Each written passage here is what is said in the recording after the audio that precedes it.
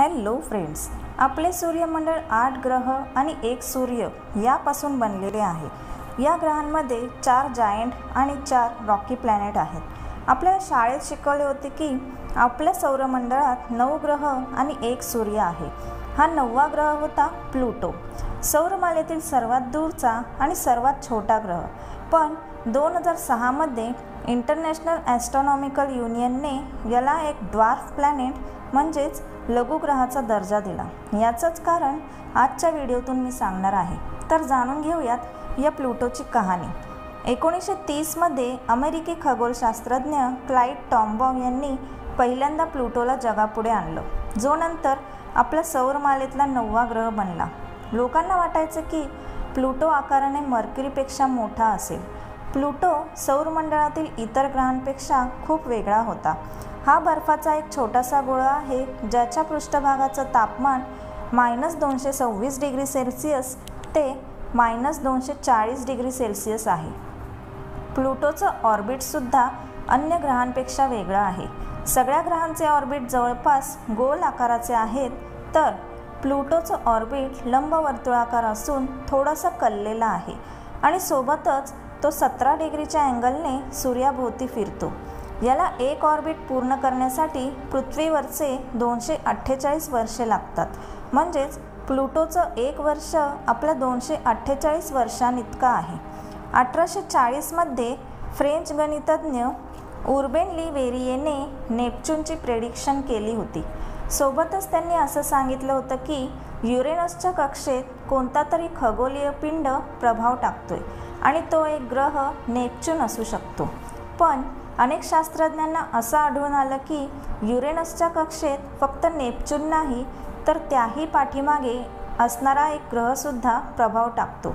आणि एकोणीसशे सहामध्ये अमेरिकन गणितज्ञ पार्सिवेल लॉवेल यांनी एका प्रोजेक्टची सुरुवात केली.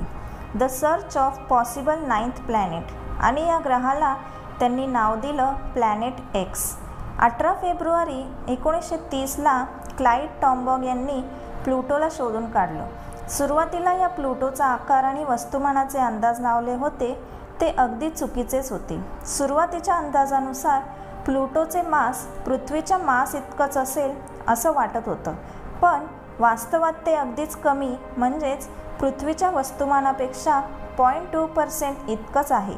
आणि तेव्हाच लक्षात आलं की प्लुटो इतका छोटा आहे की याचे गुरुत्वाकर्षण युरेनसच्या कक्षावर प्रभाव टाकण्यास असमर्थ आहे.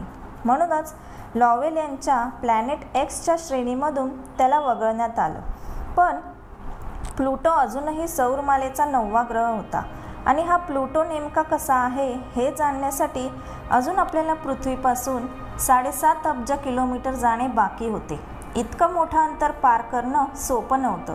त्यासाठी अत्यंत अचूक वेग दिशा यांचं गणित जुळायला हवं होतं. म्हणूनच एकोणीस जानेवारी दोन हजार सहामध्ये नासाने आपलं न्यू हॉरिझॉन स्पेसक्राफ्ट लॉन्च केला जो हे गणित जुळवणारा पहिला स्पेसक्राफ्ट ठरणार होता.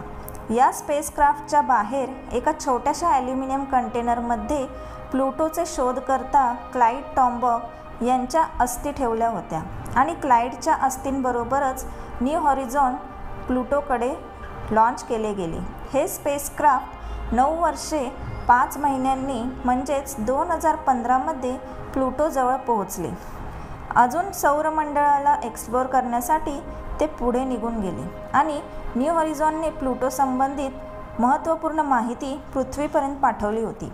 पण याच्या आधीच साल दोन हजार सहामध्ये इंटरनॅशनल ॲस्ट्रॉनॉमिकल युनियन म्हणजेच आय ए यूने प्लुटोला ग्रहांच्या लिस्टमधून काढून याला ड्वाल्फ प्लॅनेटचा दर्जा दिला होता. प्लुटोला ग्रह असण्याचा मान काढून घेतला होता. याचं कारण होतं की प्लुटोच्या पुढे प्लुटोपेक्षा सत्तावीस टक्के जास्त मासिव पिंड सूर्याभोवती फिरत होता आणि त्या पिंडाचं नाव होतं एरिस.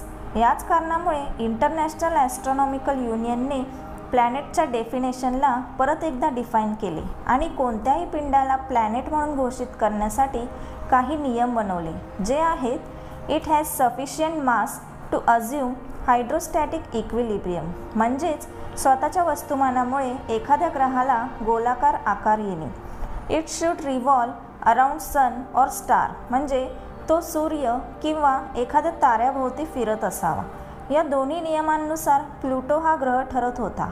पण तिसऱ्या नियमामध्ये प्लुटो बसला नाही. तो म्हणजे it has cleared the neighbourhood around it soft orbit म्हणजे या पिंडाच्या गुरुत्वीय प्रभावामुळे याच्या मार्गात येणाऱ्या छोट्या पिंडांनी एकतर याच्याकडे ओढले जाऊन त्यात विलीन व्हावे किंवा याच्याभोवती प्रदक्षिणा घालावी.